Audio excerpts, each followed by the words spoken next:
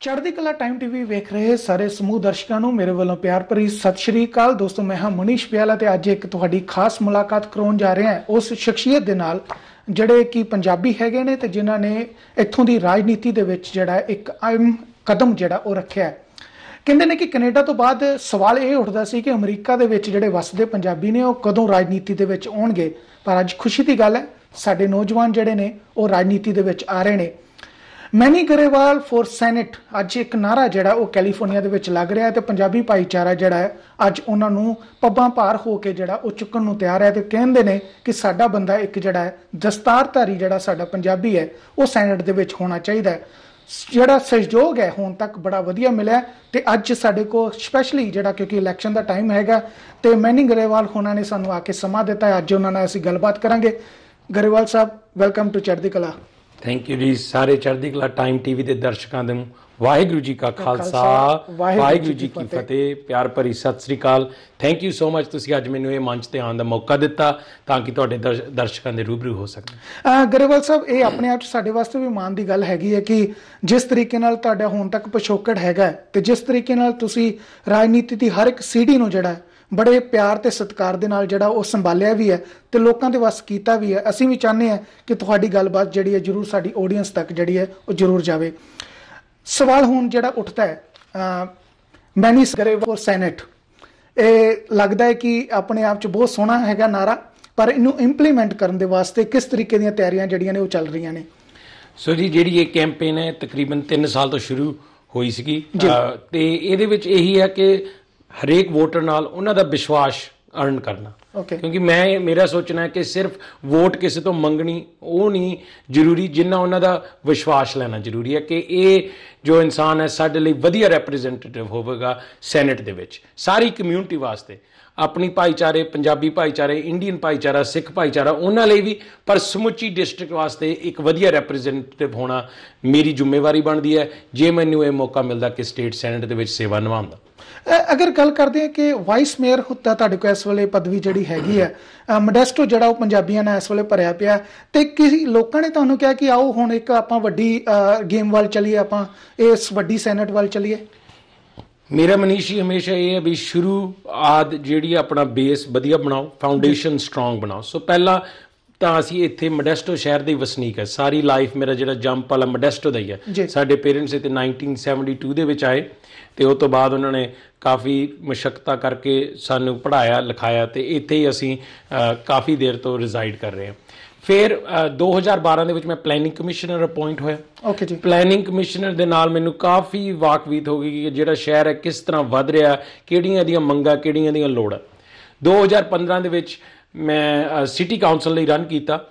ਉਦੋਂ ਵੀ ਕਾਫੀ tough race ਸੀਗੀ। ਇਨਕੰਬੈਂਟ already seat ਦੇ ਵਿੱਚ ਸੀ। ਪਰ ਕਾਫੀ ਸਪੋਰਟ ਮਿਲਿਆ। ਜਿੱਦਾਂ ਹੀ ਸੈਨੇਟ ਸੀਟ ਲਈ ਮਿਲ ਰਿਹਾ ਇਸੇ ਤਰ੍ਹਾਂ ਹੀ। ਸਾਰੀ ਕਮਿਊਨਿਟੀ ਨਾਲ ਸੀ। ਲਾਅ ਐਨਫੋਰਸਮੈਂਟ ਬਿਜ਼ਨਸ ਗਰੁੱਪਸ ਹੋਰ ਲੇਬਰ ਗਰੁੱਪਸ ਤੇ ਨਾਲ ਆਪਣਾ ਸਾਰਾ ਭਾਈਚਾਰਾ। ਉਹ ਸੀਟ ਆਪਾਂ ਨੂੰ ਅਹ, 72% ਦੇ ਮਾਰਜਨ ਨਾਲ ਆਪਾਂ ਉਹ ਸੀਟ ਜਿੱਤੀ। ਸੋ ਮੇਰੇ ਜਿਹੜੀ ਪਹਿਲੀ ਟਰਮ ਹੈ ਉਹ ਮੈਂ ਇਸ ਟਾਈਮ ਨਿਭਾ ਰਿਹਾ। ਉਹ 5 ਸਾਲ ਦੀ ਟਰਮ ਸੀ। ਉਹਦੇ ਵਿੱਚ ਹੀ ਗੱਲਾਂ ਹੋਣ ਲੱਗੀਆਂ ਸੀ ਕਿ ਇਹ ਤੇ ਵੱਡੇ ਪੱਧਰ ਤੇ ਆਪਾਂ ਹੋਰ ਵੀ ਇਲੈਕਸ਼ਨ ਲੜੀਏ। ਸੋ ਜੋ ਸਟੇਟ ਸੈਨੇਟ ਦੀ ਰੇਸ ਹੈ ਇਹ ਜਿਹੜੇ ਕਰੰਟਲੀ ਸੈਨੇਟਰ ਹੈ ਕੈਥਲੀਨ ਗੈਲਜੀਆਨੀ ਜੀ। ਉਹ ਟਰਮ ਆਊਟ ਹੋ ਰਹੇ ਆ ਮਤਲਬ 12 ਸਾਲ ਦੀ ਟਰਮ ਹੁੰਦੀ ਹੈ ਤੁਸੀਂ ਅਸੈਂਬਲੀ ਦੇ ਵਿੱਚ ਜਾਂ ਸੈਨੇਟ ਦੇ ਵਿੱਚ ਉਹ ਟਾਈਮ ਨਿਭਾ ਸਕਦੇ ਆ। ਹਰੇਕ 4 ਸਾਲ ਬਾਅਦ ਇਲੈਕਸ਼ਨ ਹੁੰਦੀ ਆ ਪਰ ਮੈਕਸਿਮਮ 12 ਸਾਲ ਸੋ ਜਦੋਂ ਉਹਨਾਂ ਨੂੰ ਪਤਾ ਲੱਗ ਗਿਆ ਕਿ ਉਹਨਾਂ ਦੀ ਟਰਮ ਖਤਮ ਹੋ ਰਹੀ ਹੈ ਮੇਰਾ ਉਹਨਾਂ ਨਾਲ ਕਾਫੀ ਦੇਰ ਦੇ ਸੰਬੰਧ ਹੈ। 12 ਸਾਲ ਤੋਂ ਮੈਂ ਉਹਨਾਂ ਨੂੰ, ਜਦੋਂ ਤੋਂ ਮੈਂ ਛੋਟਾ ਜਿਹਾ ਬੱਚਾ ਸੀ, ਉਦੋਂ ਦੇ ਮੈਨੂੰ ਉਹ ਸੈਨੀਟਰ ਜਾਣਦੇ ਆ। ਸੋ ਉਹਨਾਂ ਨੇ ਗੱਲਬਾਤ ਕੀਤੀ ਤੇ ਦੱਸਿਆ ਕਿ ਇਹ ਡਿਸਟ੍ਰਿਕਟ ਦੇ ਵਿੱਚ ਮਤਲਬ ਤੈਨੂੰ ਰਨ ਕਰਨਾ ਚਾਹੀਦਾ। ਸੋ ਮੈਂ ਉਹਨਾਂ ਦੀ, ਜਦੋਂ ਉਹਨਾਂ ਨੇ ਮੈਨੂੰ ਸ਼ੁਰੂ, ਪਹਿਲੇ ਦਿਨ ਤੋਂ ਹੀ ਹਮਾਇਤ ਕਰਨ ਦਾ ਐਲਾਨ ਕਰਤਾ ਕਿ ਮੈਂ ਜੋ ਇੰਡੋਰਸਮੈਂਟ ਹੈ, ਉਹ ਮੈਨੀ ਨੂੰ ਦੇ ਰਹੀ ਹਾਂ। ਸੋ ਫਿਰ ਆਪਾਂ ਆਪਣੀ ਇਹ ਕੈਂਪੇਨ ਸ਼ੁਰੂ ਕੀਤੀ ਤੇ ਆਪਣਾ ਜਿਹੜਾ ਪਰਿਵਾਰ ਹੈ, ਆਪਣਾ ਜਿਹੜਾ ਭਾਈਚਾਰਾ ਉਹਨਾਂ ਨੇ ਬਹੁਤ ਮੋਢੇ ਨਾਲ ਮੋਢਾ ਜੋੜ ਕੇ ਫੰਡ ਰੇਜ਼ਿੰਗ ਦੇ ਵਿੱਚ ਮਤਲਬ ਹਰੇਕ ਚੀਜ਼ ਦੇ ਵਿੱਚ ਪੂਰੀ ਹੱਲਾਸ਼ੇਰੀ ਦਿੱਤੀ। ਤੁਹਾਡੀ ਇਹ ਇੰਟਰਵਿਊ ਪਲਾਨ ਕਰਨ ਤੋਂ ਪਹਿਲਾਂ ਜਦੋਂ ਅਸੀਂ ਤੁਹਾਨੂੰ ਅਪਰੋਚ ਕੀਤਾ, ਅਸੀਂ ਇਲਾਕੇ ਦੇ ਵਿੱਚ ਤੁਹਾਡੇ ਬਾਰੇ ਥੋੜੀ ਜਿਹੀ ਜਾਣਨ ਦੀ ਵੀ ਕੋਸ਼ਿਸ਼ ਕੀਤੀ। ਸੋ ਜਿਹੜੇ ਬਜ਼ੁਰਗ ਤੇ ਹੈਗੇ ਨੇ, ਜਿਨ੍ਹਾਂ ਨੇ ਤੁਹਾਨੂੰ ਬਚਪਨ ਤੋਂ ਵੇਖਿਆ, ਛੋਟੇ-ਛੋਟੇ ਤੁਹਾਨੂੰ ਸਟਰੀਟ ਦੇ ਵਿੱਚ ਖੇਡਦੇ ਵੇਖਿਆ, ਉਹਨਾਂ ਨੇ ਵੀ ਕਹੀ, ਨਹੀਂ, ਇਹ ਬੱਚਾ ਜਿਹੜਾ, ਇਹ ਡਿਜ਼ਰਵ ਕਰਦਾ ਹੈ। ਸੋ ਆਪਣੇ ਆਪ ਚ ਸਾਨੂੰ ਵੀ ਲੱਗਾ ਕਿ ਕਿਉਂ ਨਾ ਇਹ ਇੰਟਰਵਿਊ ਜਿਹੜੀ ਆ ਕੀਤੀ ਜਾਵੇ। ਅਸੀਂ ਚੈੱਕ ਕਰੀਏ ਵੀ ਕੀ ਹੈਗਾ, ਕਿਸ ਤਰੀਕੇ ਦਾ ਮਾਹੌਲ ਹੈ। ਸੋ ਜਿਹੜੀ ਪਬਲਿਕ ਦੇ ਵਿੱਚ, ਤੁਹਾਡੀ ਡੋਮੇਨ ਦੇ ਵਿੱਚ ਜਿਹੜੀ ਤੁਹਾਡੀ ਗੱਲਬਾਤ ਹੈ, ਉਹ ਚੰਗੀ ਹੈ, ਕਿਉਂਕਿ ਤੁਹਾਡਾ ਪਰਿਵਾਰ ਜਿਹੜਾ ਹੈ, ਉਹ ਇੱਥੇ ਸ਼ਖਸੀਅਤ ਹੈਗੀ ਹੈ। ਪਰਿਵਾਰ ਨੇ ਜਿਹੜਾ ਨਮਾਣਾ ਖੱਟਿਆ ਹੈ, ਉਹਨਾਂ ਨੇ ਮਿਹਨਤਾਂ ਕੀਤੀਆਂ ਨੇ। ਤੇ ਆਪਣੇ ਆਪ 'ਚ ਜਦੋਂ ਤੁਸੀਂ ਹੁਣ ਸੈਨੇਟ ਦੇ ਵਿੱਚ ਜਾਂਦੇ ਹੋ, ਉੱਥੇ ਅਗਰ ਨੌਨ ਪੰਜਾਬੀਆਂ ਦੀ ਅਸੀਂ ਗੱਲ ਕਰੀਏ, ਉਹ ਬਹੁਤ ਵੱਡੀ ਤੁਹਾਨੂੰ ਇੰਡੋਰਸਮੈਂਟ ਜਿਹੜੀ ਹੈ ਮਿਲ ਚੁੱਕੀ ਹੋਈ ਹੈ ਵੱਖ-ਵੱਖ ਜਿਹੜੀਆਂ ਗਰੁੱਪਸ ਨੇ, ਉਹਨਾਂ ਨੇ ਤੁਹਾਨੂੰ ਜਿਹੜਾ ਸਪੋਰਟ ਦਾ ਐਲਾਨ ਜਿਹੜਾ ਉਹ ਕਰ ਚੁੱਕੇ ਹੋਏ ਨੇ। ਤੁਹਾਡਾ ਕਿਉਂਕਿ ਬਤੌਰ ਤੇ ਤੇ ਜਿਹੜੀ ਸਾਡੀ ਆਡੀਅנס ਹੈ, ਉਹ ਪੰਜਾਬੀ ਹੈ। ਉਹਨਾਂ ਦਾ ਕੀ ਮੈਸੇਜ ਹੈਗਾ ਤੁਹਾਡਾ? ਉਹਨਾਂ ਵਾਸਤੇ ਕੀ ਕਹਿਣਾ ਚਾਹੋਗੇ ਉਹਨਾਂ ਨੂੰ? ਜਿਹੜੇ ਆਪਣਾ ਪੰਜਾਬੀ ਭਾਈਚਾਰਾ ਹੈ ਇੰਡੀਅਨ ਭਾਈਚਾਰਾ ਹੈ, ਇਹਨਾਂ ਨੂੰ ਤਾਂ ਮੈਂ ਇਹੀ ਮੈਸੇਜ ਬੇਨਤੀ, ਬੜੀ ਨਿਮਰਤਾ ਸਹਿਤ ਕਰਦਾ ਕਿ ਜਿਹੜਾ ਆਪਣੀ VOTING ਦਾ ਹੱਕ ਹੈ ਨਾ। ਜੀ। ਕਿੰਨੀਆਂ ਮੁਸ਼ਕਲਾਂ ਲੈ ਕੇ ਆਪਾਂ ਇੰਡੀਆ ਤੋਂ ਆਪਣੇ ਪਰਿਵਾਰਾਂ ਨੂੰ ਛੱਡ ਕੇ ਇਹ ਦੇਸ਼ ਦੇ ਵਿੱਚ ਆਏ ਆ ਸੋ ਸਭ ਤੋਂ ਵੱਡਾ ਜਿਹੜਾ ਆਪਾਂ ਨੂੰ ਹੱਕ ਮਿਲਿਆ ਉਹ ਇੱਕ ਵੋਟ ਪਾਉਂਦਾ as a American citizen.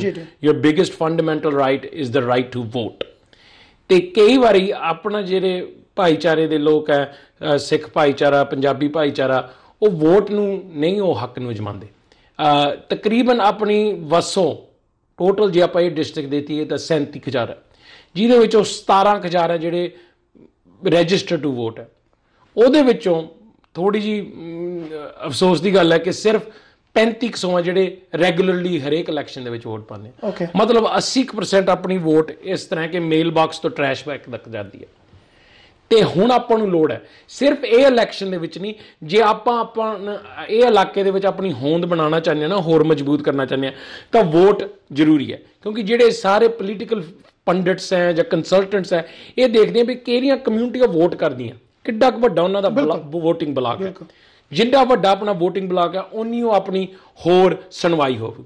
ਕਿਉਂਕਿ ਉਹਨਾਂ ਨੂੰ ਵੀ ਹੁੰਦਾ ਕਿ ਜੇ ਇਹ ਗਰੁੱਪ ਦੀ ਹਮਾਇਤ ਸਾਨੂੰ ਮਿਲਦੀ ਹੈ ਸਪੋਰਟ ਮਿਲਦੀ ਹੈ ਤਾਂ ਐਡਾ ਵੱਡਾ ਵੋਟ ਬਲਾਕ ਸਾਡੇ ਨਾਲ ਮਿਲਦਾ ਸੋ ਹੁਣ ਆਪਾਂ ਨੂੰ ਲੋੜ ਹੈ ਇਹ ਇਲੈਕਸ਼ਨ ਦੇ ਵਿੱਚ ਸ਼ੁਰੂਆਤ ਕਰਨ ਦੀ ਕਿ ਆਪਣਾ ਜੇ 17000 ਰੈਗੂਲਰ ਵੋਟਰ ਹੈ ਪਹਿਲਾਂ ਤਾਂ ਉਹ 37000 ਨੂੰ ਵਧਾਇਆ ਜਾਵੇ ਮੈਕਸਿਮਮ ਕੀਤਾ ਜਾਵੇ। ਪਰ ਜਿਹੜਾ 17000 ਹੈਗਾ ਉਹਦੇ ਵਿੱਚ ਵੱਧ ਤੋਂ ਵੱਧ ਵੋਟ ਪਾਈ ਜਾਵੇ ਤਾਂ ਕਿ ਆਉਣ ਵਾਲੇ ਇਲੈਕਸ਼ਨਾਂ ਦੇ ਵਿੱਚ ਹੋਰ ਕੈਂਡੀਡੇਟਸ ਆਪਾਂ ਨੂੰ ਆ ਕੇ ਪੁੱਛਣ ਵੀ ਜੀ ਤੁਸੀਂ ਕਿਹਦੀ ਹਮਾਇਤ ਕਰ ਰਹੇ ਬਿਲਕੁਲ ਅਹ, ਜਿਹੜੇ ਸਾਡਾ ਜਿਹੜੀ ਕੈਲਕੂਲੇਸ਼ਨ ਹੈਗੀ ਹੈ ਇਸ ਜਿੱਥੇ ਜਿਹੜੀ VOTING ਹੁੰਦੀ ਹੈ 170000 ਦੇ ਕਰੀਬ ਕਰੀਬ ਜਿਹੜੀ VOTING ਹੁੰਦੀ ਹੈ ਜੇ ਆਪਾਂ 17000 ਆਪਣੀ ਕਮਿਊਨਿਟੀ ਦੀ ਗੱਲ ਕਰਦੇ ਹਾਂ ਤਾਂ ਆਪਣਾ 10% ਜਿਹੜਾ ਹੈ ਉਹ ਇੱਕ ਵੱਡਾ ਸੈਗਮੈਂਟ ਹੋ ਜਾਂਦਾ ਹੈ।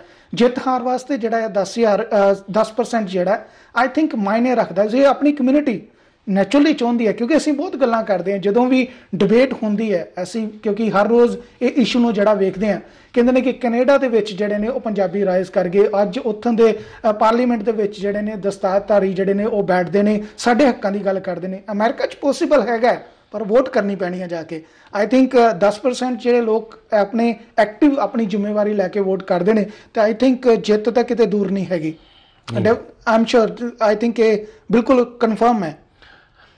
ਦੇਖੋ ਜੀ ਜਿੱਦਾਂ ਕੈਂਪੇਨ ਚੱਲ ਰਹੀ ਹੈ ਕਾਫੀ ਪੋਜ਼ਿਟਿਵ ਹੈ। ਪਰ ਮੈਂ ਜਦੋਂ ਵੀ ਕੋਈ ਕੈਂਪੇਨ ਰਨ ਕਰਦਾ ਮੈਂ ਹਮੇਸ਼ਾ ਇਹ ਲੈ ਕੇ ਰਹਿੰਦਾ ਵੀ ਅਸੀਂ ਅੰਡਰਡੌਗ ਹੈ। ਤਾਂ ਕਿ ਆਪਾਂ ਵੱਧ ਤੋਂ ਵੱਧ ਕੰਮ ਕਰੀਏ ਵੱਧ ਤੋਂ ਵੱਧ ਹੱਲਾਸ਼ੇਰੀ ਹੋਵੇ ਵੱਧ ਤੋਂ ਵੱਧ ਮੋਟੀਵੇਸ਼ਨ ਹੋਵੇ। ਮੈਨੂੰ ਇੱਕ ਚੀਜ਼ ਦਾ ਪਤਾ ਹੈ ਕਿ ਇੱਕ ਆਮ ਪੰਜਾਬੀ ਦੇ ਵਿੱਚ ਕਹਾਵਤ ਹੈ ਕਿ ਉਦਮ ਅੱਗੇ ਲక్ష్ਮੀ ਹਿੰਮਤ ਲਾਵੇ ਭਾਗ। ਜੀ ਜੀ ਸੋ ਆਪਣਾ ਤਾਂ ਕੰਮ ਹੈ ਵੀ ਉਦਮ ਕਰਨਾ ਤੇ ਆਪਣੀ ਵੱਧ ਤੋਂ ਵੱਧ ਹਿੰਮਤ ਕਰਨੀ ਤੇ ਹਾਰਡ ਵਰਕ ਕਰਨਾ।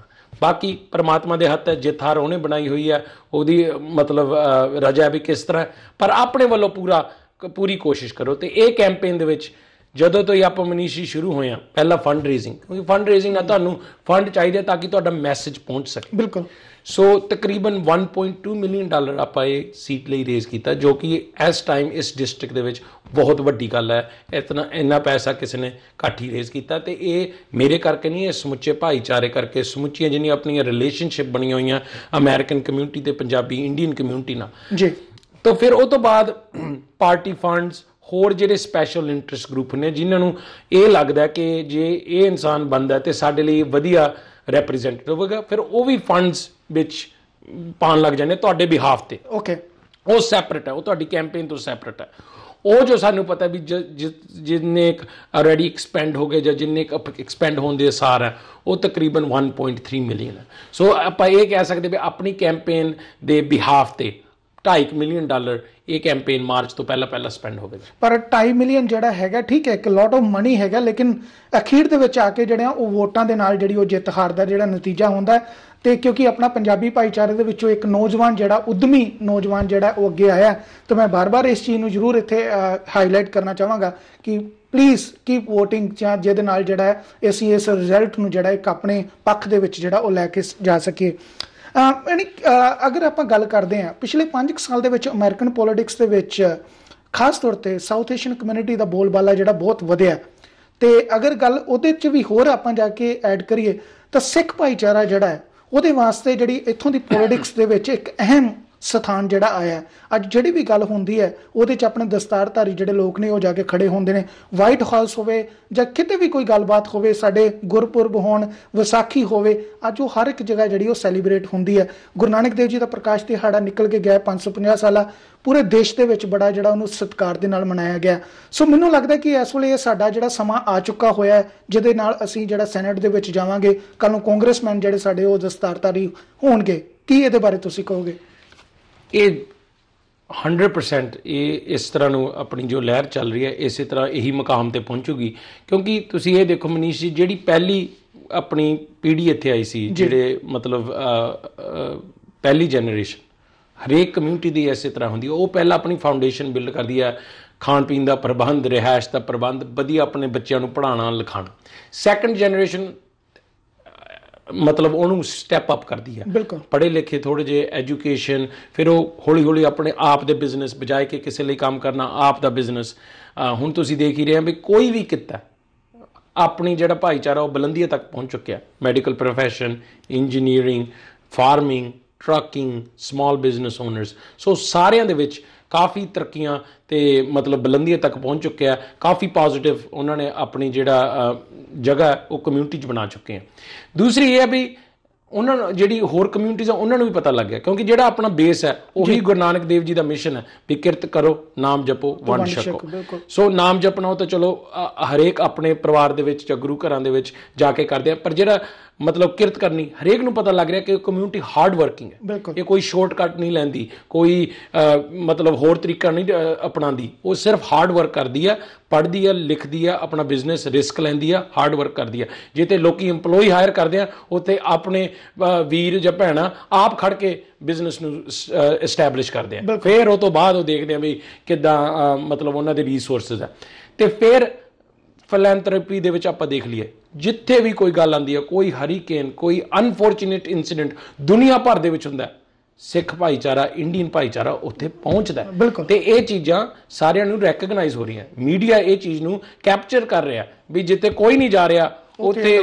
ਆਪਣੇ ਸਿੱਖ ਵੀਰ ਸਿੱਖ ਭੈਣਾਂ ਚਾਹੇ ਉਹ ਖਾਲਸਾ ਹੇਡ ਹੈ ਚਾਹੇ ਯੂਨਾਈਟਿਡ ਸਿੱਖਸ ਹੈ ਕੋਈ ਵੀ ਹੈ ਉੱਥੇ ਜਾ ਕੇ ਆਪਣਾ ਮਤਲਬ ਹਾਜ਼ਰੀ ਭਰਦੇ ਆ ਆਪਣੀ ਹੈਲਪ ਦਾ ਸਪੋਰਟ ਦਾ ਮਤਲਬ ਕਰਦੇ ਆ so that's a big thing ਉਹਦੇ ਵਿੱਚ ਇਹ ਹੁੰਦਾ ਕਿ ਉਦਾਂ ਹੀ ਰਿਸਪੈਕਟ ਹੁੰਦੀ ਹੈ। ਸੋ ਹੁਣ ਆਪਣੀ ਜਿਹੜੀ ਥਰਡ ਪੀੜ੍ਹੀ ਮਤਲਬ ਪੀੜ੍ਹੀ ਆ ਜਾਂ ਆਉਣ ਵਾਲੀ ਪਨੀਰੀ ਆ, ਉਹਨਾਂ ਲਈ ਰਸਤੇ ਖੁੱਲ ਰਹੇ। ਵੀ ਜਿੱਥੇ ਪਹਿਲਾਂ ਆਪਾਂ ਕਦੇ ਸੋਚਿਆ ਨਹੀਂ ਸੀ ਵੀ ਸਿਟੀ ਕਾਉਂਸਲ ਮੇਅਰ ਹੋਣਗੇ, ਉਹ ਹੋਣ ਲੱਗੇ ਹੁਣ ਆਪਾਂ ਜੇ ਸਟੇਟ ਸੈਂਡ ਦੇ ਵਿੱਚ ਆਪਾਂ ਨੂੰ ਮਿਲਦੀ ਹੈ ਜਾਂ ਹੋਰ ਕੋਈ ਆਪਣਾ ਵੀਰ, ਭੈਣ ਆਂਦਾ ਇਹ ਸਟੇਟ ਲੈਵਲ ਤੇ ਆ ਗਏ ਸੋ ਉਹ ਦਿਨ ਦੂਰ ਨਹੀਂ। ਮੈਨੂੰ ਕਾਫੀ ਇਹ ਚੀਜ਼ ਦੀ ਉਮੀਦ ਹੈ ਇੱਕ ਕਿਸਮ ਦਾ ਮੈਂ ਪ੍ਰੋਮਿਸ ਨਾਲ ਕਹਿ ਸਕਦਾ ਕਿ ਜੇ ਆਉਣ ਵਾਲੀ ਤੀੜੀ ਥਰਡ ਜਨਰੇਸ਼ਨ ਹੈ ਉਹਦੇ ਵਿੱਚ ਕਾਂਗਰਸਮੈਨ ਤੇ ਈਵਨ ਵਾਈਟ ਹਾਊਸ ਤੋਂ ਦੂਰ ਨਹੀਂ ਹੈ। ਬੜੀ ਸੋਹਣੀ ਗੱਲ ਕੀਤੀ ਹੈ। ਜਿਹੜੇ ਸਾਡੇ ਪਹਿਲਾਂ ਬਜ਼ੁਰਗ ਆਏ ਸੀ, ਉਹਨਾਂ ਨੇ ਇੱਕ ਜ਼ਮੀਨ ਤਿਆਰ ਕੀਤੀ ਸੀ। ਉਸ ਤੋਂ ਬਾਅਦ ਜਿਹੜੀ ਸੈਕੰਡ ਜਨਰੇਸ਼ਨ ਆਈ, ਉਹਨਾਂ ਨੇ ਆ ਕੇ ਇੱਥੇ ਜਿਹੜਾ ਇੱਕ ਪੌਦਾ ਲਾਇਆ ਅਤੇ ਅੱਜ ਉਹਨੂੰ ਫਲ ਜਿਹੜੇ ਨੇ ਲੱਗ ਰਹੇ ਨੇ ਤੇ ਨੈਚੁਰਲੀ ਕਿਉਂਕਿ ਹਾਰਡ ਮਿਹਨਤ ਕੀਤੀ ਹੈ, ਪੂਰੀ ਦੁਨੀਆ ਨੂੰ ਦੱਸਿਆ, ਆਪਣਾ ਲੋਹਾ ਮਨਾਇਆ ਕਿ ਇਹ ਲੋਕ ਜਿੱਥੇ ਵੀ ਜਾਂਦੇ ਨੇ, ਬੰਜਰ ਜ਼ਮੀਨ ਨੂੰ ਵੀ ਜਿਹੜਾ ਉਪਜਾਊ ਕਰ ਦਿੰਦੇ ਨੇ। So it's really a compliment ਤੁਸੀਂ ਆਪਣੀ ਗੱਲ ਦੇ ਵਿੱਚ ਫੈਮਿਲੀ ਦੀ ਗੱਲ ਕੀਤੀ। ਜਦੋਂ ਤੁਸੀਂ ਇਹ ਕੰਪੇਨ ਤੁਹਾਡਾ ਇਲੈਕਸ਼ਨ ਦਾ ਜਿਹੜਾ ਪੁਰਾਣਾ ਪਿਛੋਕੜ ਹੈਗਾ ਕਿਉਂਕਿ ਬਹੁਤ ਸਾਰੀਆਂ ਇਲੈਕਸ਼ਨਸ ਤੁਸੀਂ ਲੜੀਆਂ ਹੈਗੀਆਂ ਨੇ ਇਸ ਕੰਪੇਨ ਨੂੰ ਲੈ ਕੇ ਫੈਮਿਲੀ ਦੇ ਵਿੱਚੋਂ ਕਿਸ ਤਰ੍ਹਾਂ ਦੀ ਸਪੋਰਟ ਆ ਰਹੀ ਹੈ ਕਿਸ ਤਰੀਕੇ ਨਾਲ ਉਹ ਤੁਹਾਡੀ ਮਦਦ ਕਰ ਰਹੇ ਨੇ ਕਿਉਂਕਿ ਇਲੈਕਸ਼ਨ ਜਿਹੜੀ ਜ਼ਿਆਦਾ ਦੂਰ ਨਹੀਂ ਹੈਗੀ ਕੀ ਕਹੋਗੇ? ਜੀ ਜਿਹੜੀ ਇਹ ਇਲੈਕਸ਼ਨ ਹੈ ਇਸ ਲੈਵਲ ਦੀ ਜੀ। ਉਹ ਜੇ ਤੁਹਾਡੀ ਫੈਮਿਲੀ ਸਪੋਰਟ ਨਹੀਂ ਮਿਲਦਾ ਤੇ ਕੋਈ ਕਰ ਨਹੀਂ ਸਕਦਾ। ਕਿਉਂਕਿ ਤੁਹਾਡੀ ਫੈਮਿਲੀ ਦਾ ਫੁੱਲੀ ਵੈਸਟਡ ਸਪੋਰਟ ਚਾਹੀਦਾ ਜਿਹਦੇ ਵਿੱਚ ਉਹ ਵੀ ਇਹ ਕਰ ਉਹ ਵੀ ਇਹ ਬਲੀਵ ਕਰਦੇ ਆ ਕਿ ਇਹ ਜਿਹੜਾ ਮਿਸ਼ਨ ਹੈ ਇਹ ਜ਼ਰੂਰੀ ਹੈ ਅਕਾਂਪਲਿਸ਼ ਕਰਨ ਦਾ। ਸੋ ਸਾਡੇ ਜੇ ਆਪ ਦਾ ਜਿਹੜਾ ਛੋਟਾ ਜਿਹਾ ਸਾਡਾ ਆਪ ਦਾ ਪਰਿਵਾਰ ਹੈ ਇਮੀਡੀਏਟ ਫੈਮਿਲੀ ਜਿਹਨੂੰ ਆਪਾਂ ਕਹਿ ਸਕਦੇ। ਕਿਉਂਕਿ ਫੈਮਿਲੀ ਤਾਂ ਮੈਂ ਸਾਰਾ ਭਾਈਚਾਰੇ ਨੂੰ ਕਹਿ ਰਿਹਾ ਕਿਉਂਕਿ ਹਰੇਕ ਨੇ ਆਪਣਾ ਸਮਝ ਕੇ ਕੰਮ ਕਰ ਰਿਹਾ। ਜੀ। ਪਰ ਮਦਰ ਫਾਦਰ ਬ੍ਰਦਰ ਮੇਰੇ ਵਾਈਫ ਮੇਰੇ ਬੱਚੇ ਮੇਰਾ ਛੋਟਾ ਇੱਕ ਮੇਰੇ ਦੋ ਬੇਟੇ ਦੋ ਬੇਟੀਆਂ ਤੇ ਹਰੇਕ ਦਾ ਸਹਿਯੋਗ ਹੈ। ਜਿਹੜੇ ਮੇਰੀ ਵਾਈਫ ਹੈ ਉਹਨਾਂ ਨੇ ਆਪਣੀ ਫਰੈਂਡ ਸਰਕਲ ਦੇ ਵਿੱਚ ਲੋਕਾਂ ਦੇ ਘਰਾਂ ਦੇ ਵਿੱਚ ਬੋਰਡ ਲਾਣੇ ਲੋਕਾਂ ਨੂੰ ਉਤਸ਼ਾਹਿਤ ਕਰਨਾ ਕਿ ਜੀ ਵੋਟ ਜ਼ਰੂਰ ਪਾਣੀ ਜਿਹੜੇ ਮੇਰੇ ਫਾਦਰ ਹੈ, ਜਿੰਨੇ ਉਹਨਾਂ ਦੇ ਕੰਟੈਕਟਸ ਹੈ ਮਦਰ ਹੈ, ਬਾਕੀ ਹੋਰ ਜੇ ਉਹ ਤੋਂ ਐਕਸਪੈਂਡ ਕਰ ਲਈਏ, ਤਾਂ ਮਾਸੀਆਂ, ਮਾਮੇ, ਤਾਏ, ਚਾਚੇ, ਹਰੇਕ ਬੰਦਾ ਵਿੱਚ ਇਨਵੋਲਵ ਹੈ। ਪਰ ਫਿਰ ਜਿਹੜਾ ਆਪਣਾ ਓਵਰਆਲ ਭਾਈਚਾਰਾ ਹੈ, ਸਮੁੱਚੀ ਜਿਹੜੀ ਪੰਜਾਬੀ ਜਾਂ ਇੰਡੀਅਨ ਰਹਿائش ਹੈ, ਜਾਂ ਵਸੋ ਹੈ, ਇਹ ਡਿਸਟ੍ਰਿਕਟ ਦੇ ਵਿੱਚ, ਦੇਖੋ ਜੀ, ਜੇ ਤੁਸੀਂ ਬੋਰਡਾਂ ਤੋਂ ਆਈਡੀਆ ਲਾਈਏ, ਇੱਕ ਜਿਹੜੇ ਲੌਨ ਸਾਈਨ ਹੁੰਨੇ ਆ ਉਹ ਕਾਫੀ ਪ੍ਰਭਾਵਿਤ ਹੁੰਦੇ ਆ। ਓਕੇ ਕਿਉਂਕਿ ਉਹ ਦੂਜੀਆਂ ਕਮਿਊਨਿਟੀ ਨੂੰ ਕਿਉਂਕਿ ਉਹਨਾਂ ਨੂੰ ਨਹੀਂ ਪਤਾ ਵੀ ਕਿਹਦਾ ਘਰ ਹੈ ਪਰ ਉਹ ਇਹ ਦੇਖਦੇ ਆ ਵੀ ਬਾਰ-ਬਾਰ ਜਿਹੜਾ ਬੋਰਡ ਲੱਗਿਆ ਤੇ ਇਹਦਾ ਮਤਲਬ ਐਨੇ ਲੋਕੀ ਇਸ ਮਤਲਬ ਕੈਂਡੀਡੇਟ ਨੂੰ ਟਰਸਟ ਕਰ ਰਹੇ ਸੋ ਆਮ ਇਹ ਡਿਸਟ੍ਰਿਕਟ ਦੇ ਵਿੱਚ ਹਜ਼ਾਰ ਕ ਬੋਰਡ ਲੱਗਦਾ। ਜੇ ਕੋਈ ਬਹੁਤ ਹੀ ਮਤਲਬ ਹਾਰਡ ਵਰਕ ਕਰੇ ਤਾਂ ਹਜ਼ਾਰ ਬੋਰਡ ਲੱਗ ਸਕਦਾ ਹੈ ਲਾਨ ਦੇ ਵਿੱਚ। ਓਕੇ ਆਪਣਾ ਅੱਜ ਦੀ ਰੇਟ ਦੇ ਵਿੱਚ 8400 ਬੋਰਡ ਯਾਰਡਸ ਦੇ ਵਿੱਚ ਲੱਗਿਆ ਹੋਇਆ। ਇਹਨਾਂ ਨੂੰ ਲਾਣਾ, ਇਹਨਾਂ ਨੂੰ, ਮਤਲਬ ਲੋਕੇਸ਼ਨਸ ਲੱਭਣੀ, ਹਰੇਕ ਨੂੰ ਪ੍ਰੇਰਿਤ ਕਰਨਾ ਵੀ ਪਲੀਜ਼ ਤੁਸੀਂ ਆਪਣੇ ਯਾਰਡ ਦੇ ਵਿੱਚ ਲਾਓ। ਬਹੁਤ ਟਾਈਮ ਕੰਜ਼ਿਊਮਿੰਗ ਹੈ ਪਰ ਆਪਣਾ ਜਿਹੜਾ ਪਰਿਵਾਰ ਹੈ, ਜਿਹੜਾ ਸਮੁੱਚੀ ਇੰਡੀਅਨ ਕਮਿਊਨਿਟੀ ਹੈ ਏਰੀਆ ਦੇ ਵਿੱਚ, ਉਹਨਾਂ ਨੇ ਆਪਣਾ ਸਮਝ ਕੇ ਲਾ ਰਹੇ। ਆ ਉਹ ਕਹਿ ਰਹੇ ਆ ਵੀ ਜਦੋਂ ਤੁਸੀਂ ਉਹਨਾਂ 'ਤੇ ਡੋਰ ਨਾਕ ਕਰੋ ਜੀ ਵੀ ਇਦਾਂ ਅਸੀਂ, ਮੈਂ ਨਿਗਰਵਾਲ ਦੀ ਕੈਂਪੇਨ ਤੋਂ ਆਏ ਆ ਤੇ ਅਸੀਂ ਬੋਰਡ ਲਾਣਾ। ਉਹ ਲਾਓ ਜੀ। ਉਹ ਸਮਝ ਕੇ ਬਾਹਰ ਆ ਕੇ ਪੰਜ ਛੇ ਘਰ ਹੋਰ ਦੱਸ ਦਿੰਦੇ ਉਹ ਵੀ ਆਪਣੇ ਪਰਿਵਾਰ ਆ, ਉਹ ਵੀ ਆਪਣਾ ਪਰਿਵਾਰ ਹੈ ਸੋ ਇੱਕ ਮੂਵਮੈਂਟ ਸ਼ੁਰੂ ਹੋ ਚੁੱਕੀ ਹੈ, ਜਿਹੜੀ ਟੂ ਇੰਨਾ ਕੁਝ ਅਕੰਪਲਿਸ਼ ਕਰਨ ਲਈ ਤੁਹਾਨੂੰ ਉਹ ਮੂਵਮੈਂਟ ਦਾ ਹੀ ਮਤਲਬ ਆਸਰਾ ਹੁੰਦਾ ਕਿ ਕਿੰਨਾ ਤੁਹਾਡਾ ਮੈਸੇਜ ਤੇ ਕਿੰਨੇ ਲੋਕੀ ਉਤਸ਼ਾਹਤ ਹੈ, ਕਿੰਨੇ ਲੋਕੀ ਪੋਜ਼ਿਟਿਵ ਹੈ ਤੁਹਾਡੀ ਕੈਂਪੇਨ ਬਾਰੇ। ਸੋ ਉਹ ਸਾਨੂੰ ਪਰਮਾਤਮਾ ਦੀ ਕਿਰਪਾ ਨਾਲ ਬਹੁਤ ਹੀ ਵਧੀਆ ਰਿਸਪਾਂਸ ਮਿਲ ਰਿਹਾ ਇਹਨੂੰ ਬੜੀ ਖੁਸ਼ੀ ਦੀ ਗੱਲ ਹੈ ਜੀ, ਜਿਸ ਤਰੀਕੇ ਨਾਲ ਤੁਹਾਨੂੰ ਫੈਮਿਲੀ ਨੇ ਸਪੋਰਟ ਕੀਤਾ ਤੇ ਬਾਕੀ ਪੰਜਾਬੀ ਭਾਈਚਾਰਾ ਜਿਹੜਾ ਉਹ ਆਪਣੇ ਆਪ 'ਚ ਇੱਕ ਬਹੁਤ ਵੱਡਾ ਪਰਿਵਾਰ ਹੈ, ਕਿਉਂਕਿ ਹਰ ਕੋਈ ਜਾਂਦਾ ਜਿਹੜਾ ਉਹ ਚਾਚਾ, ਤਾਇਆ ਆਪਣੇ ਆਪ 'ਚ ਰਿਸ਼ਤਾ ਜਿਹੜਾ ਉਹ ਬਣਾਉਂਦੇ ਆ। ਲੇਕਿਨ ਇਹਨੂੰ ਆਪਾਂ ਥੋੜਾ ਜਿਹਾ ਕੰਟੀਨਿਊ ਕਰਾਂਗੇ, ਇੱਕ ਛੋਟੀ ਜਿਹੀ ਬ੍ਰੇਕ ਜਿਹੜੀ ਆਪਾਂ ਇੱਥੇ ਲੈਣੇ ਆ ਤੇ ਉਸ ਤੋਂ ਬਾਅਦ ਮੈਨੀ ਹੋਣਾ ਨਾਲ ਅਸੀਂ ਹੋਰ ਵੀ ਗੱਲਾਂ ਕਰਾਂਗੇ ਤੇ ਇਲੈਕਸ਼ਨ ਬਾਰੇ ਜਾਣਨ ਦੀ ਕੋਸ਼ਿਸ਼ ਕਰਾਂਗੇ ਕਿਸ ਤਰੀਕੇ ਨਾਲ ਉਹਨਾਂ ਦੀਆਂ ਤਿਆਰੀਆਂ ਚੱਲਦੀਆਂ। ਮੈਨੀ ਸਾਹਿਬ ਜਿਹੜਾ ਕਿਉਂਕਿ ਅਸੀਂ ਤੁਹਾਨੂੰ ਜ਼ਿਆਦਾ ਸਮਾਂ ਜਿਹੜਾ ਨਹੀਂ ਰੱਖਣਾ ਚਾਹੁੰਦੇ ਕਿਉਂਕਿ ਪਲ ਪਲ ਜਿਹੜਾ ਇਸ ਵੇਲੇ ਇਲੈਕਸ਼ਨ ਦੇ ਮਾਹੌਲ ਦੇ ਵਿੱਚ ਜਿਹੜਾ ਕੀਮਤੀ ਹੁੰਦਾ ਸੋ ਜਿਹੜੀ ਓਵਰਆਲ ਹੁਣ ਆਪਾਂ ਤੁਸੀਂ ਪਹਿਲਾਂ ਵੀ ਗੱਲ ਕੀਤੀ ਹੈ ਕਿ ਪਿਕਚਰ ਬੜੀ ਕਲੀਅਰ ਹੈਗੀ ਹੈ ਕਿ ਜਿਸ ਤਰੀਕੇ ਨਾਲ ਐਂਡੋਰਸਮੈਂਟ ਹੋ ਚੁੱਕੀ ਹੈ ਜਿਸ ਤਰੀਕੇ ਨਾਲ ਦੂਸਰੀਆਂ ਕਮਿਊਨਿਟੀਆਂ ਸਪੋਰਟ ਕਰ ਰਹੀਆਂ ਨੇ ਜਿਸ ਤਰੀਕੇ ਨਾਲ ਇਸ ਵੇਲੇ ਸਿਟਿੰਗ ਜਿਹੜੇ ਸੈਨੇਟਰ ਨੇ ਉਹ ਤੁਹਾਨੂੰ ਸਪੋਰਟ ਕਰ ਚੁੱਕੇ ਨੇ। ਓਵਰਆਲ ਜਿਹੜਾ ਸਭ ਕੁਝ ਆਪਣੇ ਹੱਕ ਦੇ ਵਿੱਚ ਲੱਗਦਾ ਹੈ। ਤੇ ਬਾਕੀ ਜਿਹੜੀ ਤੁਸੀਂ ਗੱਲ ਕੀਤੀ ਹੈ ਆਪਣੀ ਕਮਿਊਨਿਟੀ ਨੂੰ ਬਾਰ-ਬਾਰ ਅਸੀਂ ਉਸੇ ਜਗ੍ਹਾ ਤੇ ਜਾਂਦੇ ਆ। ਤੇ ਕਮਿਊਨਿਟੀ ਨੂੰ ਕੋ ਤੁਸੀਂ ਇਲੈਕਸ਼ਨ ਤੋਂ ਪਹਿਲਾਂ ਜਾਂ ਬਾਅਦ ਦੇ ਵਿੱਚ ਕਿਸ ਤਰੀਕੇ ਦਾ ਸਹਿਯੋਗ ਜਿਹੜਾ ਹੁਣ ਮੰਗ ਰਹੇ ਹੋ ਉਹਨਾਂ ਕੋ? ਹੁਣ ਤਾਂ ਇਹ ਹੈ ਜੀ ਕਿ ਆਪਣੀ ਜਿਹੜਾ ਵੋਟ ਦਾ ਹੱਕ ਹੈ ਉਹ ਜ਼ਰੂਰ ਅਜਮਾਓ। ਸਾਡੀ ਕੈਂਪੇਨ ਵੈਬਸਾਈਟ ਹੈ। ਜਿਹੜੀ ਸਾਡੇ ਮੇਨ ਇਸ਼ੂਜ਼ ਹੈ ਮੈਨੂੰ ਲੱਗਦਾ ਕਾਫੀ ਆਪਣੇ ਕਮਿਊਨਿਟੀ ਨਾਲ ਰਲਦੇ ਆ। ਕਿਉਂਕਿ ਇਹ ਜਿਹੜਾ ਡਿਸਟ੍ਰਿਕਟ ਹੈ ਇਹ ਮਿਡਲ ਕਲਾਸ ਫੈਮਲੀਜ਼ ਦਾ ਹਾਰਡ ਵਰਕਿੰਗ ਫੈਮਲੀਜ਼ ਹੈ। ਜਿਹੜੀਆਂ ਡਿਸਟ੍ਰਿਕਟ ਦੇ ਵਿੱਚ ਕੁਝ ਏਰੀਅਨ ਜਿਨ੍ਹਾਂ ਦੇ ਵਿੱਚ ਉਹ ਕੰਮ ਤੇ ਜਾਣ ਵਾਸਤੇ ਤਿੰਨ ਤਿੰਨ ਚਾਰ ਚਾਰ ਘੰਟੇ ਡਰਾਈਵ ਕਰਦੇ ਆ। ਬੇਰੀ ਦੇ ਵਿੱਚ ਡਰਾਈਵ ਕਰਦੇ ਆ। ਥੋੜਾ ਜਿਹਾ ਘਰਾਂ ਦੀਆਂ ਪ੍ਰਾਈਸਾਂ ਦੀ ਕੀਮਤ ਥੋੜੀ ਜਿਹੀ ਘੱਟ ਹੋਣ ਕਰਕੇ ਵਾਪਸ ਇੱਥੇ ਆਉਂਦੇ ਆ। ਸੋ ਹੁਣ ਜੇ ਮੈਨੂੰ ਇਹ ਮੌਕਾ ਮਿਲਦਾ ਸੈਨੇਟ ਦੇ ਵਿੱਚ ਜਾਣ ਦਾ। ਮੇਰੀ ਬਿਗੇਸਟ ਪ੍ਰਾਇੋਰਟੀ ਇਹ ਹੋਗੀ ਕਿ ਜਿਹੜੀਆਂ ਉਹ ਕੰਪਨੀਆਂ ਜਿੱਥੇ ਆਪਣੇ ਵੀਰ ਭੈਣ ਜਾ ਕੇ 4 4 5 5 6 6 ਘੰਟੇ ਆਪਣੇ ਪਰਿਵਾਰ ਤੋਂ ਪਰ ਦੂਰ ਰਹਿ ਕੇ ਉੱਥੇ ਕੰਮ ਕਰਨ ਜਾਂਦੇ ਉਹ ਕੰਪਨੀਆਂ ਨੂੰ ਇੰਟਾਈਜ਼ ਕੀਤਾ ਕਰੇ ਕੀਤਾ ਜਾਵੇ ਇਨਸੈਂਟੀਵਾਈਜ਼ ਕੀਤਾ ਜਾਵੇ ਕਿ ਤੁਸੀਂ ਇੱਥੇ ਆ ਕੇ ਆਪਣੀ ਸੈਕੰਡ ਬ੍ਰਾਂਚ ਖੋਲੋ ਜਾਂ ਹੋਰ ਐਕਸਪੈਂਡ ਕਰੋ ਤਾਂ ਕਿ ਜਿਹੜੀ ਵਰਕਫੋਰਸ ਇੰਨੀ ਦੂਰ ਆਪਣਾ ਟਾਈਮ ਸਪੈਂਡ ਕਰੀਏ ਕਮਿਊਟ ਕਰਨ ਦਾ ਕਿਉਂਕਿ ਜਿਹੜਾ ਸਟਾਕਟਨ ਤੇ Modesto area demographic is the longest commute time in the nation okay ਜੀ। ਸੋ ਸਿਰਫ ਆਪਣੀ ਕਮਿਊਨਿਟੀ ਵਾਸਤੇ ਨਹੀਂ ਵੱਡੀ ਗੱਲ, ਸਾਰੀ ਕਮਿਊਨਿਟੀ ਵਾਸਤੇ ਹੈ ਜਿਹੜੀਆਂ ਇੱਥੋਂ ਜਾ ਕੇ ਕਮਿਊਟ ਕਰਦੀਆਂ। ਦੂਜਾ ਹੈਗਾ ਲਾਅ ਇਨਫੋਰਸਮੈਂਟ ਮੈਂ ਕਾਫੀ ਖੁਸ਼ ਹਾਂ ਤੇ ਇਹ ਚੀਜ਼ ਨਾਲ ਇਨਕਰੇਜ ਹੈ ਕਿ ਸਾਰੀਆਂ ਲਾਅ ਇਨਫੋਰਸਮੈਂਟ ਗਰੁੱਪਸ ਨੇ ਮੈਨੂੰ ਇੰਡੋਰਸ ਕੀਤਾ ਹੋਇਆ। ਪੁਲਿਸ ਫਾਇਰ ਫਾਈਟਰਸ ਸ਼ੈਰਫਸ ਤੇ ਕਿਉਂਕਿ ਆਪਾਂ ਸਾਰੇ ਸੇਫ ਕਮਿਊਨਿਟੀ ਮੰਗਦੇ ਆ ਆਪਾਂ ਮੰਗਦੇ ਆ ਕਿ ਜੇ ਆਪਣਾ ਬੱਚਾ ਸਕੂਲ ਤੁਰਿਆ ਜਾ ਰਿਹਾ ਪਤਾ ਵੀ ਸੇਫ ਹੈ। ਜਦੋਂ ਘਰੇ ਆ ਰਹੇ ਆ ਆਪਾਂ ਸੇਫ ਹੈ। ਜਦੋਂ ਆਪਾਂ ਬਾਹਰ ਜਾਂਦੇ ਆ ਗਰੋਸਰੀ ਲੈਣ ਆ ਚਾਹੇ ਆਪਣਾ ਪਹਿਰਾਵਾ ਡਿਫਰੈਂਟ ਹੈ ਕਈ ਵਾਰੀ ਉਹਦੇ ਕਰਕੇ ਵੀ ਆਪਾਂ ਨੂੰ ਡਰ ਹੁੰਦਾ ਕਿ ਹੇਟ ਕ੍ਰਾਈਮਸ ਦਾ ਕਿਸ ਤਰ੍ਹਾਂ ਦਾ ਮਤਲਬ ਸਾਡੇ ਨਾਲ ਕਈ ਵਾਰੀ ਸਲੂਕ ਹੁੰਦਾ ਜਦੋਂ ਆਪਾਂ ਬਾਹਰ ਕਮਿਊਨਿਟੀ ਦੇ ਵਿੱਚ ਜਾਂਦੇ ਆ ਸੋ ਲਾਅ ਇਨਫੋਰਸਮੈਂਟ ਕਾਫੀ ਵੱਡੀ ਲੋੜ ਹੈ ਤੇ ਉਹਨੂੰ ਸਟਰੈਂਥਨ ਕਰਨ ਦੀ ਲੋੜ ਹੈ। ਸੋ ਉਹ ਵੀ ਜਿੱਥੇ ਸਾਰੀ ਕਮਿਊਨਿਟੀ ਲਈ ਬੈਨੀਫਿਟ ਹੈ ਆਪਣੇ ਭਾਈਚਾਰੇ ਲਈ ਵੀ ਬੈਨੀਫਿਟ ਹੈ। ਬਾਕੀ ਇਹ ਐਗਰੀਕਲਚਰ ਕਮਿਊਨਿਟੀ ਹੈ। ਕਾਫੀ ਤੁਸੀਂ ਦੇਖਿਆ ਹੋਗਾ ਜਦੋਂ ਤੁਸੀਂ ਇਹ ਏਰੀਆ ਚਾਹੁੰਦੇ ਆ ਕਾਫੀ ਰਿਜ਼ੈਂਬਲੈਂਸ ਪੰਜਾਬ ਦੇ ਨਾਲ ਹੈ। ਬਿਲਕੁਲ। ਐਗਰੀਕਲਚਰ ਏਰੀਆ ਐਗਰੀਕਲਚਰ ਏਰੀਆ ਦੇ ਵਿੱਚ ਤੁਹਾਨੂੰ ਪਤਾ ਪਾਣੀ ਪਾਣੀ ਦੀਆਂ ਮੰਗਾਂ ਬਹੁਤ ਹੀ ਜ਼ਰੂਰੀ ਹੁੰਦੀਆਂ। ਸੋ ਕਾਫੀ ਵਾਰ ਇਹ ਗੱਲ ਆਂਦੀ ਹੈ ਕਿ ਜਿਹੜਾ ਇੱਥੇ ਦਾ ਪਾਣੀ ਉਹ ਡਿਵਰਟ ਕੀਤਾ ਜਾਵੇ ਲਾਸ ਐਂਜਲਸ ਭੇਜਿਆ ਜਾਵੇ ਸੈਨ ਫਰਾਂਸਿਸਕੋ ਭੇਜਿਆ ਜਾਵੇ। ਪਰ ਮੈਂ ਤਾਂ ਪਿਛਲੇ 5 ਸਾਲਾਂ ਤੋਂ ਆਪਣੀ ਜਿਹੜੀ ਵਾਈਸ ਮੇਅਰ ਦੀ ਹੈਸੀਅਤ ਦੇ ਵਿੱਚ ਇਹੀ ਕਿਹਾ ਕਿ ਸਾਡੇ ਇਲਾਕੇ ਨੂੰ ਇਹ ਪਾਣੀ ਦੀ ਲੋੜ ਹੈ। ਕਿਉਂਕਿ ਜੇ ਸਿਰਫ ਫਾਰਮਰਾਂ ਲਈ ਨਹੀਂ ਜੇ ਪਾਣੀ ਹੋਰ ਕਿਤੇ ਜਾਂਦਾ ਹੈ, ਤੇ ਹਰੇਕ ਚੀਜ਼ ਦੀ ਮਹਿੰਗਾਈ ਹੁੰਦੀ ਹੈ। ਉਹ ਮਹਿੰਗਾਈ ਕੰਜ਼ੂਮਰ ਨੂੰ ਭਰਨੀ ਪੈਂਦੀ ਹੈ। ਉਹ ਕੰਜ਼ਿਊਮਰ ਆਪਣੀ ਵੀਰ ਆ, ਆਪਣੀਆਂ ਭੈਣਾਂ, ਆਪਣੇ ਬਜ਼ੁਰਗ ਆ, ਸਾਰੀ ਕਮਿਊਨਿਟੀ ਨੂੰ ਫ਼ਰਕ ਪੈਂਦਾ। ਸੋ ਜਿਹੜੀ ਓਵਰਆਲ ਮੇਰੀ ਕੈਂਪੇਨ ਹੈ ਉਹ ਸਿਰਫ ਆਪਣੀ ਕਮਿਊਨਿਟੀ ਵਾਸਤੇ ਨਹੀਂ, ਸਾਰੀ ਕਮਿਊਨਿਟੀ ਵਾਸਤੇ ਮੈਂ ਇਹ ਹੱਕਾਂ ਲਈ ਲੜੂੰਗਾ ਕਿ ਵਧੀਆ ਜੌਬਸ ਇਹ ਏਰੀਆ ਦੇ ਵਿੱਚ ਕ੍ਰੀਏਟ ਹੋਣ ਪਬਲਿਕ ਸੇਫਟੀ ਨੂੰ ਇਨਫੋਰਸ ਕੀਤਾ ਜਾਵੇ ਤੇ ਆਪਣਾ ਜਿਹੜਾ ਐਗਰੀਕਲਚਰ ਹੈਰੀਟੇਜ ਆ, ਉਹਨੂੰ ਗਰੋ ਕੀਤਾ ਜਾਵੇ। ਬ- ਜਿਹੜੇ ਤੁਸੀਂ ਇਸ਼ੂ ਰੇਸ ਕੀਤੇ ਨੇ, ਬੜੇ ਆਪਣੇ ਆਪ ਚ ਮਾਇਨੇ ਰੱਖਦੇ ਨੇ, ਕਿਉਂਕਿ ਹਰੇਕ ਕਮਿਊਨਿਟੀ ਜਿਹੜੀ ਹੈ, ਇਹਦੇ ਨਾਲ ਜਿਹੜੀ ਇਨਵੋਲਵ ਹੁੰਦੀ ਹੈ, ਤੇ ਆਈ ਹੋਪ ਸੋ ਕਿ ਇਹ ਆਪਣੇ ਆਪ ਚ ਲੋਕਾਂ ਨੂੰ ਇੱਕ ਜਿਹੜੀ ਬੜੀ ਪੋਜ਼ਿਟਿਵ ਸਾਈਨ ਦਿਖੇਗਾ ਤੇ ਉਹ ਜਿਹੜਾ ਇਹਦੇ ਵੱਲ ਆਉਣਗੇ। ਤੇ ਜਾਂਦੇ ਜਾਂਦੇ ਜਿਹੜਾ ਹੈਗਾ ਜੇ ਤੁਹਾਨੂੰ ਕੋਈ ਕੰਟੈਕਟ ਕਰਨਾ ਚਾਹੁੰਦਾ ਹੈ, ਆਪਣੀ ਕਮਿਊਨਿਟੀ ਦੇ ਵਿੱਚੋਂ ਜਾਂ ਕਿਤੋਂ ਬਾਹਰੋਂ ਵੀ ਜਿਹੜਾ ਇਸ ਵੇਲੇ ਪ੍ਰੋਗਰਾਮ ਨੂੰ ਸੁਣ ਰਿਹਾ, ਕਿਸ ਤਰੀਕੇ ਨਾਲ ਤੁਹਾਨੂੰ ਜਿਹੜਾ ਉਹ ਰੀਚ ਕਰ ਸਕਦਾ ਹੈ?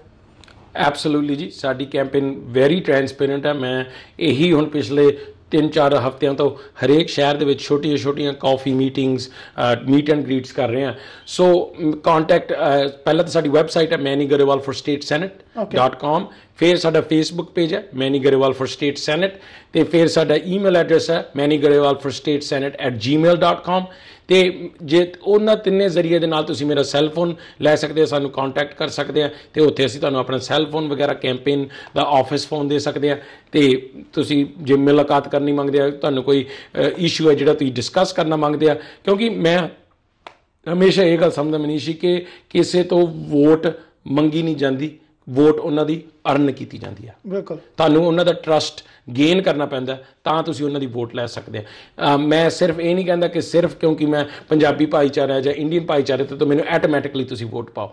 ਹਾਂ, ਅਸੀਂ ਉਮੀਦ ਕਰਦੇ ਹਾਂ, ਕਿਉਂਕਿ ਮੈਨੂੰ ਪਤਾ ਹੈ ਕਿ ਜੇ ਮੈਂ ਉੱਥੇ ਰਿਪਰੈਜ਼ੈਂਟੇਸ਼ਨ ਕਰਾਂ, ਜਿੱਦਾਂ ਮੈਂ ਆਪਣੇ ਭਾਈਚਾਰੇ ਦੀ ਜਾਂ ਆਪਣੇ ਲੋਕਾਂ ਦੀ ਰਿਪਰੈਜ਼ੈਂਟੇਸ਼ਨ ਕਰ ਸਕਦਾ, ਹੋਰ ਨਹੀਂ ਕੋਈ ਕਰ ਸਕਦਾ as being from the same community ਪਰ ਫਿਰ ਵੀ ਜਿਹੜੇ ਇਸ਼ੂਜ਼ ਤੁਹਾਨੂੰ ਇੰਪੋਰਟੈਂਟ ਹੈ ਉਹ ਵੀ ਜ਼ਰੂਰੀ ਹੈ। ਜ਼ਰੂਰੀ ਇਹ ਹੈ ਵੀ ਤੁਹਾਨੂੰ ਵੀ ਇਹ ਫੀਲ ਹੋਵੇ ਵੀ ਜੇ ਅ, ਮੈਂ ਨਹੀਂ ਗਰੇਵਾਲ ਸਟੇਟ ਸੈਨੇਟ ਤੇ ਜਾਂਦਾ ਤੇ ਮੇਰੇ ਪਰਿਵਾਰ ਲਈ ਮੇਰੇ ਲਈ ਕੀ ਕਰ ਸਕਦੇ ਆ? ਮੇਰੀ ਲਾਈਫ ਕਿੱਦਾਂ ਹੋਰ ਆਸਾਨ ਹੋ ਸਕਦੀ ਆ? ਇਹਨਾਂ ਦੇ ਹੋਣ ਕਰਕੇ ਉੱਥੇ। ਨਹੀਂ ਇਹਦੇ ਚ ਬਹੁਤ ਸੋਹਣੀ ਗੱਲ ਕੀਤੀ ਹੈ ਮੈਨੀ ਗਰੇਵਾਲ ਨੇ ਕਿ ਮੈਂ ਤੁਹਾਡੇ ਕੋਲ ਇਹ ਚੀਜ਼ ਨਹੀਂ ਕਹਿ ਰਿਹਾ ਕਿ ਮੈਨੂੰ ਹੀ ਆ ਕੇ ਵੋਟ ਕਰੋ ਲੇਕਿਨ ਇਹ ਤੁਹਾਡੇ ਆਪਣੇ ਆਪਣੇ ਹੱਕ ਹੈਗੇ ਨੇ ਲੇਕਿਨ ਜ਼ਿੰਮੇਵਾਰੀ ਵੀ ਇਹ ਬਣਦੀ ਹੈ ਜਦੋਂ ਦੂਸਰੀਆਂ ਕਮਿਊਨਿਟੀਆਂ ਜਿਹੜੀਆਂ ਨੇ ਕਦਮ ਨਾ ਕਦਮ ਮਿਲਾ ਕੇ ਜਿਹੜੀ ਸਪੋਰਟ ਕਰਨ ਆ ਰਹੀ ਹੈ, ਆਪਣਾ ਹਮੇਸ਼ਾ ਇਹ ਚੀਜ਼ ਰਹੀ ਹੈ ਕਿ ਪੰਜਾਬੀ ਕਮਿਊਨਿਟੀ ਜਿਹੜੀ ਹੈ ਵੋਟ ਪਾਉਣ ਲੱਗਿਆ ਥੋੜਾ ਜਿਹਾ ਗਰੇਜ਼ ਕਰ ਜਾਂਦੀ ਹੈ। ਜੇ ਇਹਦੇ ਚ ਆਪਾਂ ਉਹਨੇ ਆਪਣਾ ਇੱਕ ਵਾਰੀ ਬੰਦਾ ਜਿਹੜਾ ਜਿੱਤ ਕੇ ਅੱਗੇ ਜਾਂਦਾ ਹੈ, ਤਾਂ ਜ਼ਰੂਰ ਬਾਕੀਆਂ ਵਾਸਤੇ ਵੀ ਰਸਤੇ ਖੋਲ ਸਕਦੇ ਨੇ। ਅੱਜ ਤੁਸੀਂ ਕਿਸੇ ਵਾਸਤੇ ਵੋਟ ਪਾ ਰਹੇ ਹੋ ਕੱਲ ਨੂੰ ਤੁਹਾਡੇ ਬੱਚੇ ਵਾਸਤੇ ਕੋਈ ਵੋਟ ਪਾਵੇਗਾ, ਤੇ ਆਪਣੇ ਆਪ 'ਚ ਜਿਹੜਾ ਇੱਕ ਕਹਿੰਦੇ ਨੇ ਕਿ ਸੋਨੇ ਦੇ ਉੱਤੇ ਸੁਹਾਗਾ ਹੋ ਸਕਦਾ ਹੈ। ਸੋ ਗਰੇਵਾਲ ਸਾਹਿਬ ਬਹੁਤ ਬਹੁਤ ਧੰਨਵਾਦ। ਤੁਸੀਂ ਆਪਣੇ ਕੀਮਤੀ ਸਮੇਂ ਦੇ ਵਿੱਚੋਂ ਸਾਨੂੰ ਸਮਾਂ ਦਿੱਤਾ ਹੈ ਤੇ ਅਸੀਂ ਉਮੀਦ ਕਰਦੇ ਹਾਂ, ਅਸੀਂ ਇਹ ਰੱਬ ਕਰੇ ਅਰਦਾਸ ਵੀ ਕਰਦੇ ਹਾਂ ਕਿ ਤੁਸੀਂ ਚੜ੍ਹਦੀ ਕਲਾ ਸਮਾਂ ਟਾਈਮ ਟੀਵੀ ਨੂੰ ਅੱਜ ਸਮਾਂ ਦਿੱਤਾ ਹੈ ਤੇ ਪ੍ਰਮਾਤਮਾ ਤੁਹਾਨੂੰ ਚੜ੍ਹਦੀ ਕਲਾ ਦੇ ਵਿੱਚ ਰੱਖੇ। ਤੇ ਇਸੇ ਤਰੀਕੇ ਤੁਸੀਂ ਆਪਣੀ ਜਿਹੜੀ ਇਲੈਕਸ਼ਨਸ ਹੈਗੀਆਂ ਨੇ ਉਹਨੂੰ ਵਿਨ ਕਰਦੇ ਰਹੋ ਤੇ ਇਸੇ ਤਰੀਕੇ ਜਿਹੜਾ ਆਪਣੀ ਕਮਿਊਨਿਟੀ ਦੀ ਸੇਵਾ ਕਰਦੇ ਰਹੋ। ਬਹੁਤ ਬਹੁਤ ਧੰਨਵਾਦ ਸਾਡੇ ਨਾਲ। Thank you so much. Thank you so much ਸਾਰੇ ਦਰਸ਼ਕਾਂ ਦਾ। ਬਹੁਤ ਬਹੁਤ ਥੈਂਕ ਯੂ ਤੁਸੀਂ ਇਹ ਮੌਕਾ ਦਿੱਤਾ। ਸਾਰਿਆਂ ਦੇ ਸਹਿਯੋਗ ਦੇ ਨਾਲ ਇਹ ਜਿਹੜੀ ਕੈਂਪੇਨ ਹੈ ਮੈਂ ਉਮੀਦ ਕਰਦਾ ਕਿ ਕਾਮਯਾਬ ਰਹੂਗੀ। Thank you so much so much ਜੀ। ਵਾਹਿਗੁਰੂ ਜੀ ਕਾ ਖਾਲਸਾ। ਵਾਹਿਗੁਰੂ ਜੀ ਕੀ ਫਤਿਹ। ਸੋ ਦੋਸਤੋ, ਇਹ ਸਨ ਮੈਨੀ ਗਰੇਵਾਲ, ਜਿਨ੍ਹਾਂ ਦੇ ਨਾਲ ਅੱਜ ਅਸੀਂ ਤੁਹਾਡੀ ਮੁਲਾਕਾਤ ਕਰਾਈ ਹੈ ਤੇ ਅੱਜ ਅਸੀਂ ਇੱਥੇ ਹੀ ਇਸ ਪ੍ਰੋਗਰਾਮ ਨੂੰ ਸਮਾਪਤ ਕਰਦੇ ਹਾਂ। ਪਰ ਅਗਲੀ ਵਾਰ ਫਿਰ ਇੱਕ ਨਵੀਂ ਸ਼ਖਸੀਅਤ ਨੂੰ ਲੈ ਕੇ ਅਸੀਂ ਤੁਹਾਡੇ ਤੱਕ ਆਵਾਂਗੇ। ਤਦ ਤੱਕ ਮੈਨੂੰ ਦਿਓ ਇਜਾਜ਼ਤ। ਬਹੁਤ ਬਹੁਤ ਧੰਨਵਾਦ। ਰੱਬ ਰਾਖਾ। ਸਤਿ ਸ਼੍ਰੀ ਅਕਾਲ ਜੀਓ